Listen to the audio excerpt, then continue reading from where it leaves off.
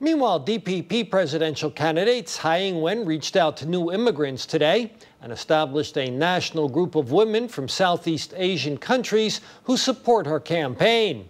When asked about presidential opponent Eric Chu's upcoming trip to the U.S. in November, Tsai said she would be supportive if Chu could make more progress based upon what the DPP had achieved in her previous trip.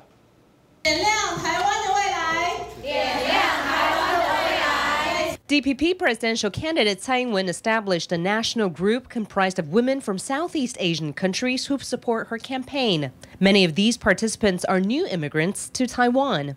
我要祝那个蔡英文主席告告票当选。 More than 100 people originally from Vietnam, Myanmar, Thailand, and other countries dressed up to show their support for Tsai. At the event, Tsai also pledged to support causes important to this group.